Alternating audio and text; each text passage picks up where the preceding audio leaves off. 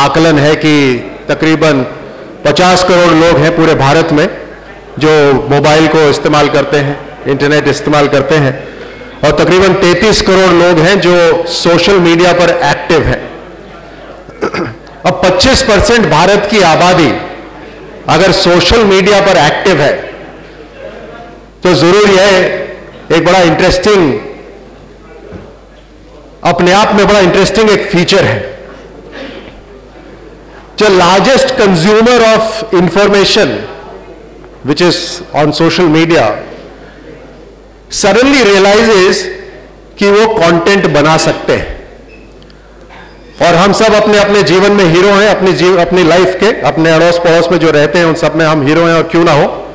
तो हम अपना कंटेंट सोशल मीडिया पर डालना चाहते हैं। और उसी कारण से सोशल मीडिया के ऊपर कंटेंट बढ़ता जा रहा है और सोशल मीडिया अपने आप में इंटरेस्टिंग भी होता जा रहा है। अब कितना मज़ा आता है सुबह सुबह बिना नहाए धोए, बाल बिखरे हुए, निकर में बैठे सोशल मीडिया के ऊपर आप बात करते हो और कोई बोलता है, आप लगते कैसे हो? तो तुरंत पुरानी फ़ोटो फोटोशॉप एक अच्छी सी फ़ोटो आप भेज देते हो। कितना आसान हो जाता है काम। और कितना मुश्किल हो जाता है काम अगर किसी के साथ बैठकर चर्चा करने हो। यहाँ चर्चा जो हो रही थी, उसी से पता लग रहा था ना कि कितना मुश्किल हो जाता है चर्चा करना। किसी दूसरे का कोई ओपिनियन को समझना। और जब व्यक्ति सामने होता है तो कहीं ना कहीं एक तहजीब भारत की आ जाती है कि उसको, उसका भी विचार सुनना पड़ जाता है। और जिस तरह से हम जब दूसरों का घर में विचार सुनते हैं, जब घर में बैठते हैं, चाय पीते हैं, कॉफ़ी पीते हैं, बातचीत होती है, दूसरे का विचार सुनना पड़ता है।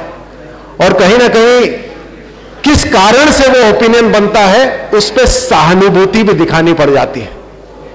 और जब आप एक ग्रुप में बैठते हैं तो कई बार अपने मन में यह आता है कि जो तर्क वितर्क चल रहा है, उसको आगे ना बढ़ाया जाए, उसको वहीं रोक दिया जाए। और ज़्यादातर जब हम ग्रुप में बैठ के बातचीत करते हैं तो अब्यूजेस का इस्तेमाल नहीं करते। लेकिन वहीं जब वापस सोशल मीडिया पर आते हैं, तुरंत कॉन्वर्सेशन को कट ऑफ़ कर देना या एक सेकंड के अंदर अपना ओपिनियन दे देना और दूसरे के ओपिनियन को ट्रैश कर देना आसान हो जाता है। और यही कारण है कि सोशल मीडिया के ऊपर जो आम हम जीवन के अंदर जो तहजीब, जो आज जो जो व्यवहार, जो हम सीखते हैं, वो व्यवहार सोशल मीडिया पे दिखाने की ज़रूरत नहीं पड़ती।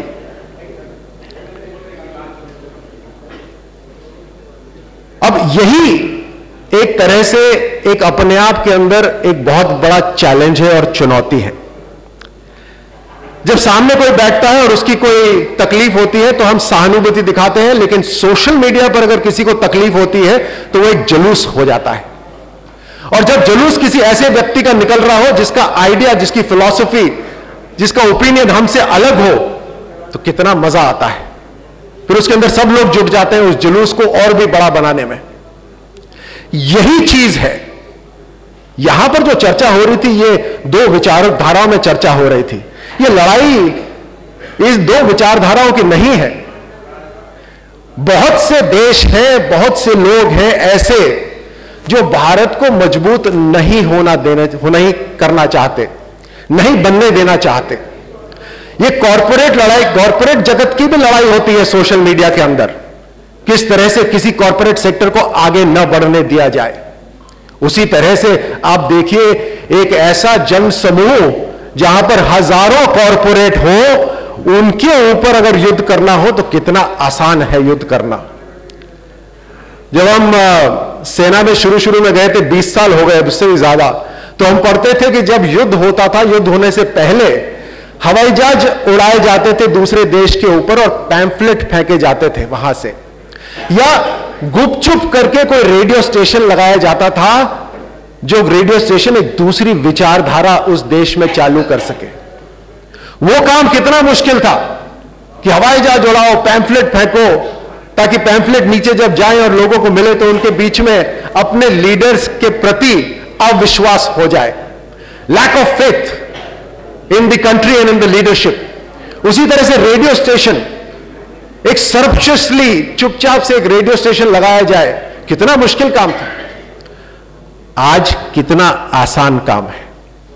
आप सेना की बात करते हो, जो वर्दी पहन के पूरे देश की रक्षा करते हैं, कोई समुद्र के अंदर है, कोई समुद्र के ऊपर है, कोई बर्फीले पहाड़ों के ऊपर है, कोई रेगिस्तान के ऊपर है, वो तो फ़िज़िकल एंट्री को रोक रहे हैं।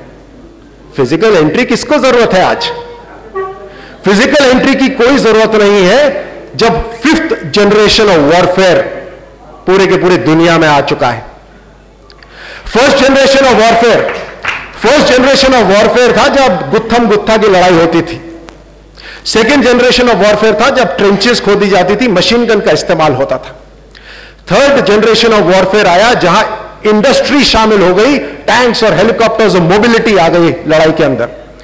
फोर्थ जनरेशन ऑफ़ वॉरफेयर से हम अभी युद्ध कर रहे हैं।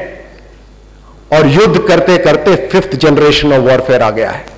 Fourth generation of warfare is जहाँ आर्मी को लड़ाई करने की ज़रूरत नहीं है मिलिशिया लड़ाई करती है। एडॉक वॉरियर्स लड़ाई करते हैं। आपके नाम से कोई दूसरा लड़ाई करता है यह है फोर्थ जनरेशन लड़ाई, जहाँ टेररिज्म होता है यह फोर्थ जनरेशन लड़ाई, सेना को तो सरहद पार ही नहीं करनी पड़ती।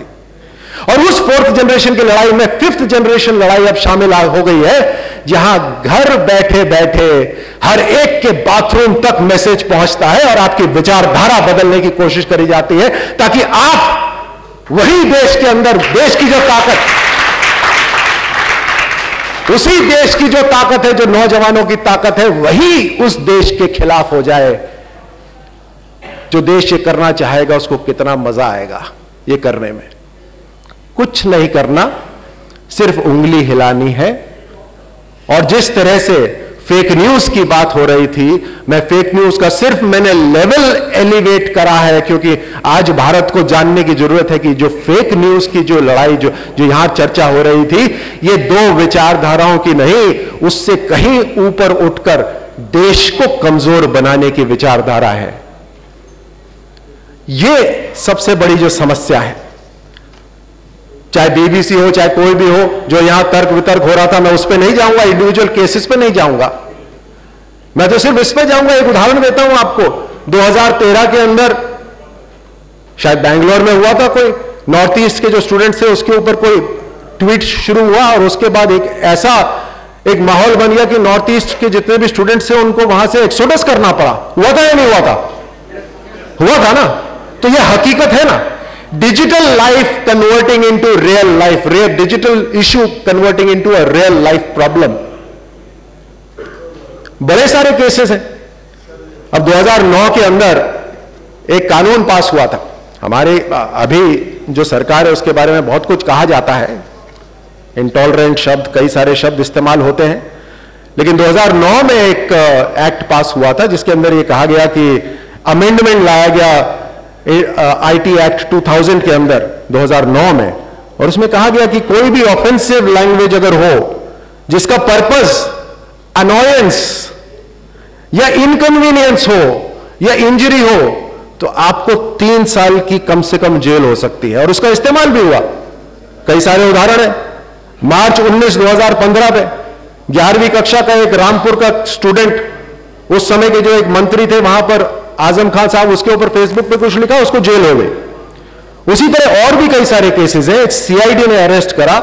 एक लड़के ने यह लिखा कि जो साइक्लोन हुडुड है, वो भगवान की या अल्लाह की आपके ऊपर एक श्राप है क्योंकि आपने वाईएसआर को वोट नहीं करा। उसका विचारधारा था, लेकिन उस विचारधारा पे उसके ऊपर उसको जेल कर दिया गया। ऐसे कई सारे कई सारे उदाहरण हैं। इंटरनेट बना के इसलिए था। इंटरनेट बना था एक फ्री वर्ल्ड के लिए, जहाँ पर आपके आइडियाज़ फ्री हो और किसी भी उस समय 1960s के समय जो जिस तरह का सोवियत यूनियन होता था या जिस तरह का कोल्ड वॉर चल रहा था, ऐसी कोई बंदिश ना हो आपके ऊपर। बिल्कुल फ्री विचारधारा हो। आज कहीं ऐसा ना हो कि वही फ्री विचारधारा हम सबको खाने के लिए वापस आ जाए। तो इसलिए the best option is self regulation बहुत ज़रूरी है। ये मीडिया के बहुत सारे यहाँ पर एग्जीक्यूटिव यहाँ बैठे चर्चा कर रहे थे। मीडिया का नियंत्रण किस तरह से होता है? सेल्फ रेगुलेशन से होता है। उनका, पहले तो मीडिया ऑर्गेनाइजेशन खुद, उसके बाद बी ट्रिपल सी एंटरटेनमेंट के लिए एनबीएसए न्यूज़ के लिए, यही सब अपना सेल्फ रेगुलेशन करते हैं। और वहाँ से भी नहीं रुकता तो फिर सरकार की इंटर मिनिस्टीरियल कमेटी होती है। But this is a fact we have to learn to self regulate also we have to be able to control and not participate in any news which you feel is fake news और खास तौर से यह बहुत ज़रूरी है, क्योंकि बहुत से लोग ऐसे हैं। और ये मैं बात खास तौर से कर रहा हूँ भारत के लिए।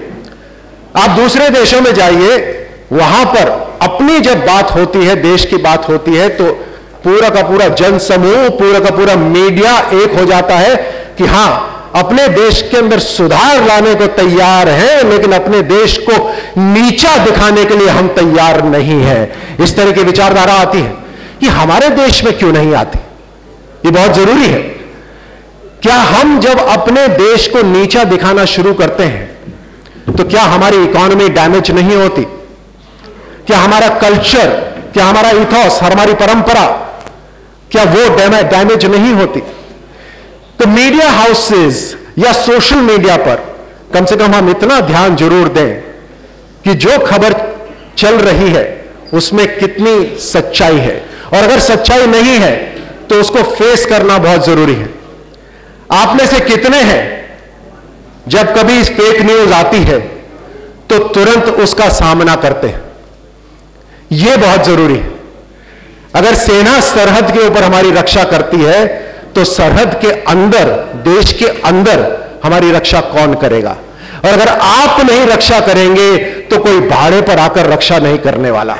जब फेक न्यूज़ को आप देखते हैं, कोई भी फेक न्यूज़ हो, आपको जब ये आप कंफर्म हो जाता है कि ये फेक न्यूज़ है, उसका सामना करना बहुत ज़रूरी है। जहाँ पे भी आपको लगता है कि मिसलीडिंग न्यूज़ है, देखिए पूरी तरह से न्यूज़ उल्टी नहीं होती। ये कुछ लोग जो खबरें लगाते हैं, वो बड़े बड़े इंटरेस्टिंग अंदाज से खबरें लगाते हैं। खबरों को बस थोड़ा सा ट्विस्ट करा जाता है। खबरों के अंदर कंटेंट सही होता है, लेकिन हेडलाइन को थोड़ा सा ट्विस्ट कर दिया जाता है। और जब हेडलाइन थोड़ी सी ट्विस्ट होती है तो कहानी पूरी बदल जाती है। क्योंकि 90 प्रतिशत से ज़्यादा लोग हेडलाइन से नीचे नहीं जाते। वो हेडलाइन देखते हैं और अपना मन बना लेते हैं। आप जब इस तरह की मिसलीडिंग न्यूज़ सुने, देखें तो तुरंत सोशल मीडिया पर आकर उसको पूरी तरह से खत्म करें। उसको फेस टू फेस आकर उसको चैलेंज करें, उसको चुनौती दें। और ऐसे लोगों की आवाज़ बढ़नी बहुत ज़रूरी है, क्योंकि जब ऐसे लोगों की आवाज़ बढ़ती है, जो जो कंटेम्प्रेरी मीडिया है, वो कंटेम्प्रेरी मीडिया को भी बैठ के सुनना पड़ता है।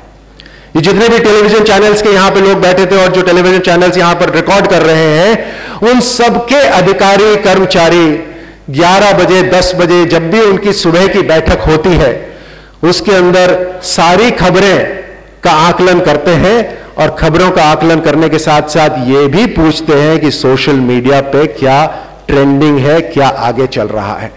आज आपकी आवाज़ को उनको मानना पड़ रहा है। इसलिए आपकी आवाज़ बहुत स्ट्रांग हो गई है। सोशल मीडिया पे आप जितने भी हो, आपकी आवाज़ बहुत स्ट्रांग हो गई है। और it has the capacity to kill any fake news that is generated and also to kill any fake news that is whether on contemporary media और on social media that is the strength of today speaking